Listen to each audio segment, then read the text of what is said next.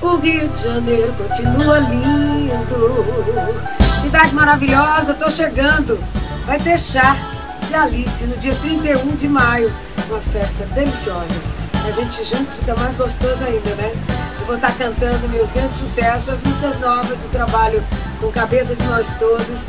Vai ser muito bom ver de novo. Vamos fazer confusão? Um beijo. Vejo vocês por lá.